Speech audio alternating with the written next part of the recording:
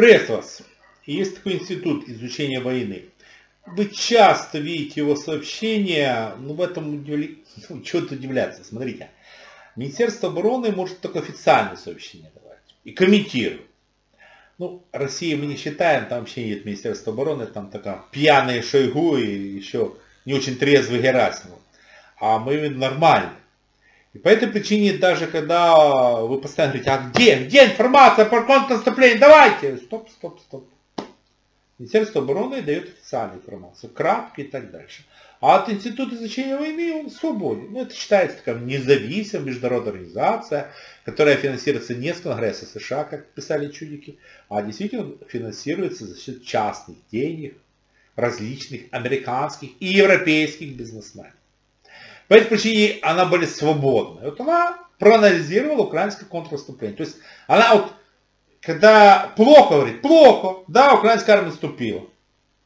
Сдала. Она говорит, то есть ей не надо э, что-то там вырисовывать, показывать. Она говорит, да, отступила, да, проиграла, да, такая ситуация. Вот так. Украинская наступает, да, наступает. То есть, понимаете, тут нет вот этого, типа, ну, давайте мы сделаем так, чтобы красиво, так и нет. Вот как есть. Тут они сделали анализ, там тем более шла. Ну, они часто залучают экспертов э, бывших э, там всяких военных министров, генералов и так дальше. Бывших. Почему бывших? Понимаете, действующий не имеет права работать. Ну, это запрещено. То есть, если ты действующий генерал, он, ну, есть, он должен быть генералом. Все. Ушел в отставку, пожалуйста, можешь анализировать, рассказывать, комментировать, проблем нет. Но действующий нельзя. Вот они привлекают бывших, которые как бы сейчас на пенсии, ну, генералов, адмиралов и так дальше. Причем не только США. Практически со всего мира. У них даже индусы есть эксперты, не. Да. Не, ну, в принципе, понятно, что такой, чтобы генерал и так дальше. То есть лейтенант он не привлекает. Вот они проанализировали и довольно такую сделали, ну, как бы, глубокий анализ с точки зрения военных экспертов, черт и вот их заключение. Там все, если хотите почитать, оно громаднейшее. Просто громаднейшее. Там тонуть можно. Эксперты Института войны считают, что украинская контрнаступательная операция стремится создать асимметрический градиент истощения. Да, да, да, вот у них так написано сразу. Я просто читаю, как они пишут. Вот. Что позволит сохранить украинскую живую силу и нанести чрезвычайные потери для российской армии. Они не пишут там русня, худня, такого там нет. У них все цивилизовано. Украинский, украинский, не украинский, не украинский. Ну и даже пишут, что медленные темпы э, объясняются тем, что тактика украинской армии поменяла, она больше ориентирована на уничтожение баз и сохранение живой силы. Здесь очень, мало того, ну, я понимаю, что они не будут вам раскрывать, даже если у них есть какая-то информация закрыта, они публиковать не будут. Но там написано что? Что соотношение потерь военнослужащих, у них все цивилизовано, военнослужащие российской армии, военнослужащие украинской армии, там, такого, там, таких мата у них нет, понятно. Так соотношение 6,2 э, раза в украинской армии меньше, чем российской. Вот так посчитаю. 6,2. Ну, ну так не считают. Да, я говорю, я не знаю, где они берут эти данные. Ну, если даже у них есть, они же вам не признают. Не знаю. Потом эксперты что еще указывают? Да, они указывают действительно на то, что э, авиация в России значительно больше, и она создает проблемы и так дальше. Это, это, там все есть. Они даже приводят, что ну, соотношение авиации э, украинской и российской не пользу Украины. Что есть, есть. Там вообще получается 1 к 4. Да, но вместо России больше. Это много, очень много. Э, рассматривают э, они артиллерию, но рассматривают в контексте... Ой, как это... Тут. Контексте... Э, ну, короче, залпа. То есть вот, э, артиллерия больше диаметра, меньше диаметра. Такое, там замудренное слово, честно говоря. Я так и не понял, куда он и клонит. Ну просто тут ситуация следующая. Что на сегодняшний момент с точки зрения, вот, как бы сказать, снарядов, паритет.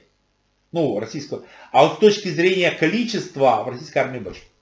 Ну, имеется в виду по, по диаметру, как это, по силе залпа. О, во, во, господи, там. Ну, они же как-то это считают.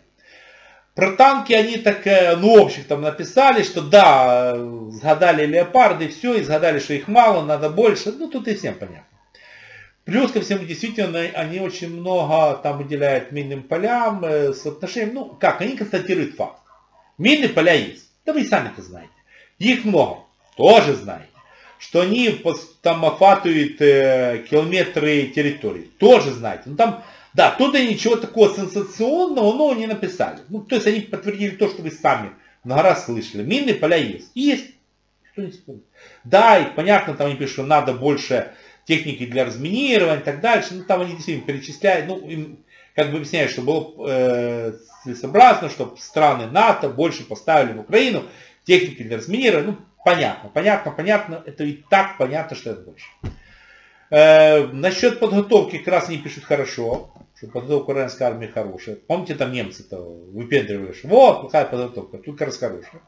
Ну и общая тактика они говорят, что да, вот сейчас тактика украинской армии рассчитана на то, что максимально выбивается враг в тылу врага, базы, ну там тоже, они довольно много там перечисляют, э, действительно, ну, та же информация, вы много раз слышали, какие российские военные базы были уничтожены, сколько там э, уничтожено было различной боевой техники, оружия, живой силы, это все не перечисляют.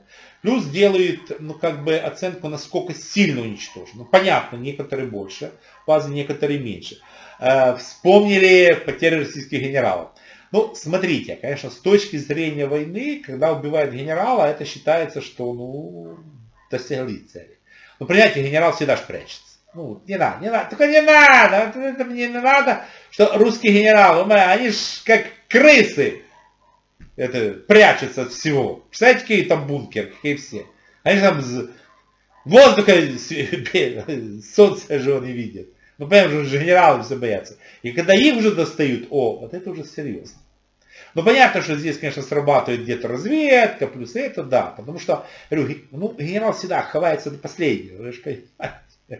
И когда уже действительно попадает по штабу, попадает так за размаху, да, это существенно. Ну что ж, молодцы наши ребята, попадают. Умеют, умеют, умеют. Нет, ну тут надо дать должное, что, конечно, война учит. Понятное дело, что год назад э, значительно сложнее было. Ну, во всяком случае, украинская армия не, не умела так действительно точно уничтожать российские базы было, ну и плюс ко всему ракет не было столько, тех же снарядов и так дальше, стволов, вот ты сказал, стволов, вспомнил, да, они измеряют количество, не количество этих, а диаметр залпа стволов. Так что мы вот видите, в этом, оказывается, меньше, в России больше. То есть снаряды есть, а количество стволов в России больше. Что есть, то есть. Ну, зато воюем хорошо. Так что, ну что вам сказать? Да вы сами все знаете. Хана. Не, я понимаю, что беззубый щенок ночью будет рассказывать, что вот, да мы, да все, ай, ребят. Ну, кого вы слушаете, беззубый щенок, родные мои, ну, ну, вы же сами же видите, это полное ничтожество. Нашли кого слушать. Ну, неужели он правду скажет? Ну, сами подумайте, как этот беззубый щенок Володька Путин может сказать вам правду? Если он полностью заврался, переврался, он уже врет так, что ты сам не помнишь, что он говорил раньше, то да, блядь. По этой причине уничтожим всех русских фашистов, очистим Россию от фашизма, наведем порядок, установим правильную власть и будет все замечательно. А пока что, обращаю ваше внимание, украинская армия имеет в 6 раз меньше потерь, чем российская. Уж они-то точно знают. А, вы то безумно щенка слушаете, как успешно наступает. Да прекращайте.